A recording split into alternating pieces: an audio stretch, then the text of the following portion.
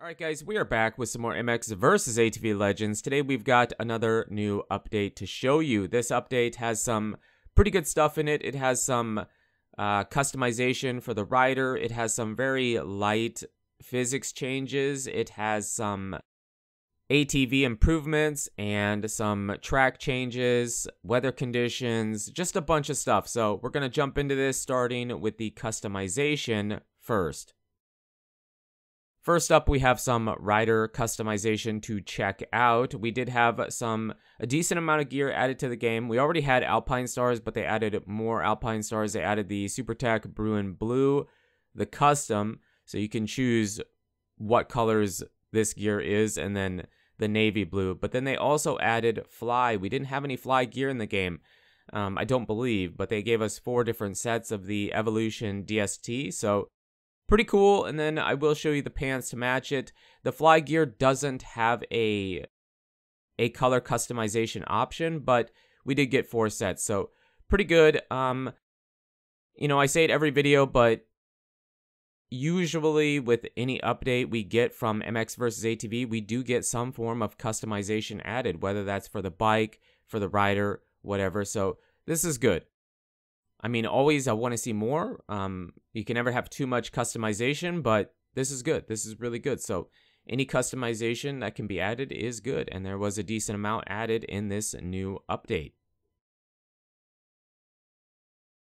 Moving on to the quad. The quad got some love in this update. Can you believe it? I mean, it, it kind of feels like sometimes the quad and the quad players get left behind and forgotten about um, because I feel like most of the players excuse me, most of the players do use the bike, but it is MX versus ATV, right? The quads need that love too. So the quad did get some of that love in this update. It had its grip and turning capabilities improved. Now, I'm probably not the best player to show off the quad and what is better about it besides telling you what the patch notes said, but it did feel better. I've used the quad a handful of times, not too much, but it didn't feel as slippery. It felt like you could control it a lot better. And the turning, I don't really know. I picked a pretty easy track here to show you, but yeah, the quad, if you're a quad guy, test it out. Let me know in the comments if it's better and let me know in the comments what you want to see improved on the quad because you you would have a better idea of what needs to be better because you use it. I don't use it. I use the bikes, but it's good to see the quads getting some love in this update and that's exactly what happened. Turning capabilities and the grip have been improved. Now, I did want to show you this even though it felt like it was a pretty minor improvement, but the terrain deformation, the physics have been improved, especially over longer races. So, um, I don't really know because most of the time I don't do long races, and most of the time when I record, I prefer to have a smooth track just because it's easier to get a good, clean lap that way. So, I don't really know. It definitely felt a bit better, but if you test this update and you do the long races or the heavy terrain deformation, let me know in the comments what you think, but in my opinion, definitely better, but pretty minor. And weather conditions have been added to all the replica outdoor national tracks. So every track that we have, you can turn on the rain. So that's pretty awesome. I don't know if that means we'll get it for every track to come yet because we have Unadilla, Budds Creek, and Ironman, but at least the ones we have currently and maybe the ones in the future will get the the weather conditions added to it. So pretty cool. I wanted to show you Redbud here. Definitely felt more drag on the bike, was tougher to get over stuff, and it looks cool. So weather conditions have been added to all the replica tracks.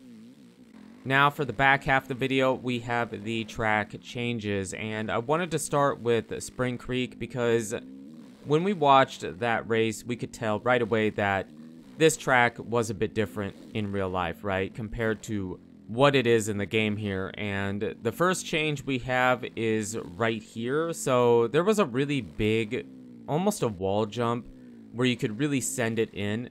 That's been changed. I don't know if that double was there before. That might have been added.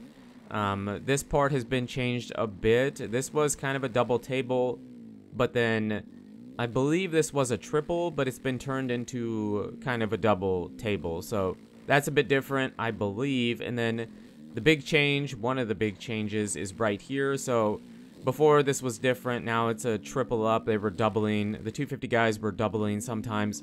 And then the triple, triple, and then we get to the top of Mount Martin and jump down. Now, Mount Martin, I don't believe had changes to it, but it feels a bit more bouncy.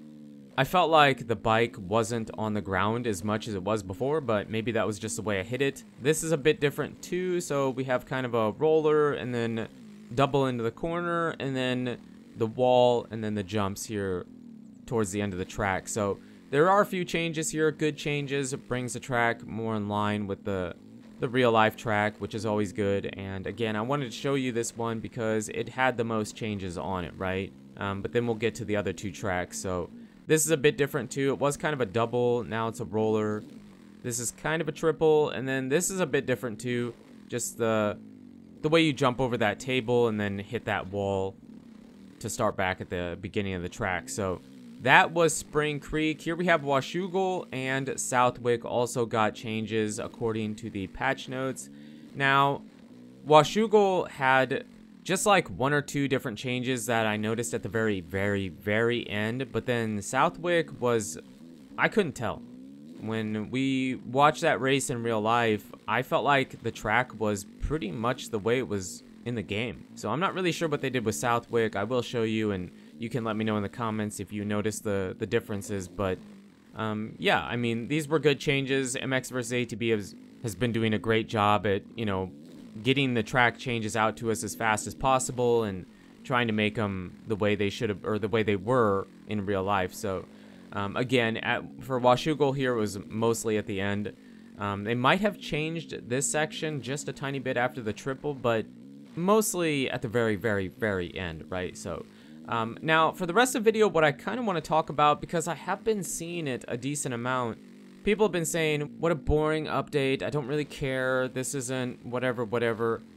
I don't necessarily disagree. I'm kind of in the middle. I see where I see where and why people might be saying a boring update. I mean, this is good stuff. This is really good stuff, but sometimes it feels like they could put like the patch before and this patch together and just push it out as one one update, right? They it feels like they could do that, but I think and I I don't want to speak for everybody. I don't, but I do feel like most of us are really really really waiting on a handful of things, right? The throwback track pack and I did see, I believe it was Rainbow Studios on Instagram saying that there was the possibility of bringing some retro gear to the game when the throwback tracks come out. So that could be that whole thing could be just insanely good, right?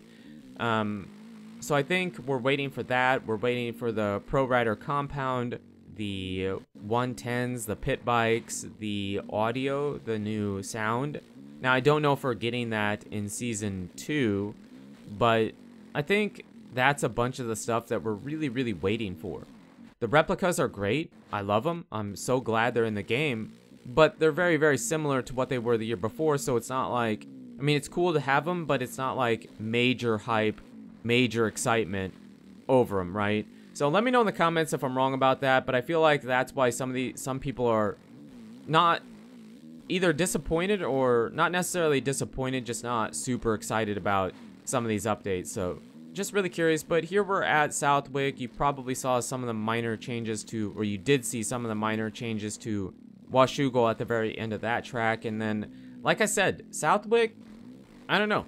I really don't know what they did here. It felt exactly the same, unless it was a minor change to a corner or something, or they redid a tiny bit to a jump. I'm not really sure. I really don't know.